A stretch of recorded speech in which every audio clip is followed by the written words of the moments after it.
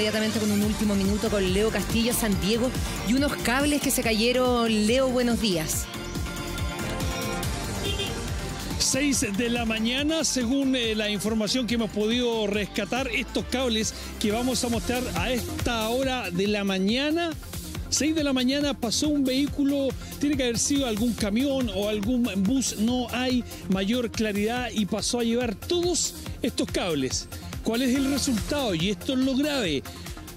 San Diego con Victoria, arterias principales totalmente cortadas, o sea, tú no puedes transitar. Es importante que la gente sepa que si va al centro de Santiago y toma la calle San Diego no puede transitar solamente em, por Victoria, lo van a obviamente a a derivar hacia la izquierda, hacia el sector poniente, porque la calle San Diego está totalmente cortada entre Victoria y Santiago Santiaguillo, específicamente, y mejor decir, Avenida Mata. Entonces, ¿sabe lo que está pasando hasta ahora de la mañana? Se está generando un tráfico realmente grande. Vamos a mostrar mostrar con nuestra cámara, finalmente este accidente eh, genera, em, pone en jaque eh, el tránsito y hay un caos vial bastante importante de los vehículos que van de San Diego hacia el centro de Santiago y de Victoria hacia el sector poniente. Eh, está Carabineros, ya llegó el municipio y aquí empezamos con los problemas.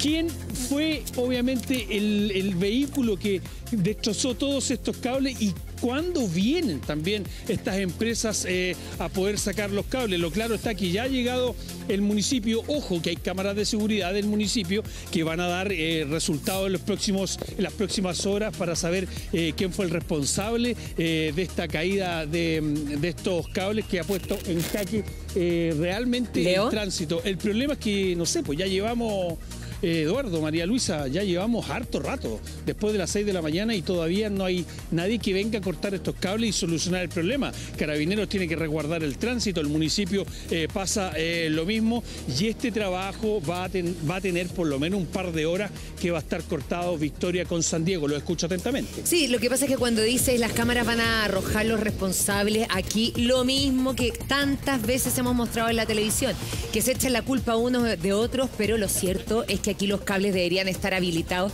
para que pasara cualquier tipo de camión, bus. El problema es que no los arreglan, los dejan ahí tirados.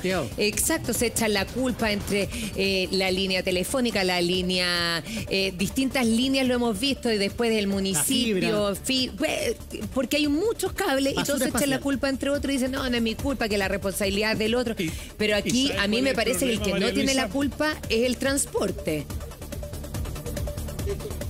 A ver, ¿y sabes cuál es el problema? Que acá va a venir una empresa y va a sacar un puro cable. Después va a venir la otra empresa y va a sacar el otro cable. Y si a esa empresa le piden, ¿por qué no saca todos los cables? No, porque no es mi responsabilidad. Y también, tantas veces que hemos hablado de esta basura aérea, también acá hay cables de empresas que ya no existen ya. Que ganas que fueran Por ejemplo, cables telefónicos de empresas que, que ya no existen. Claro, ¿y quién el, quién el que finalmente, como se dice en buen chileno, Simón, quién es el que paga el pato?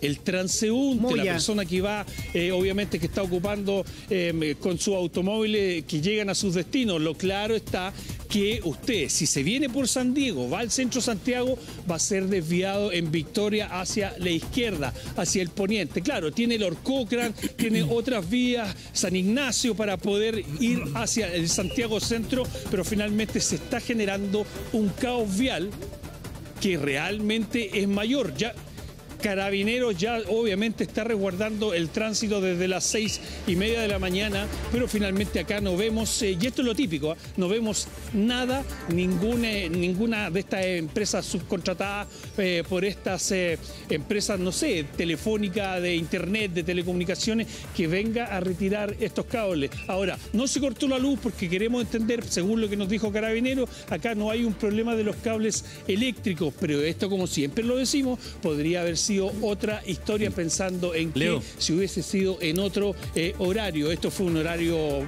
que, afecta el horario PIC, Eduardo María Luisa San Diego con victoria totalmente cortado, lo que trae un gran caos vial.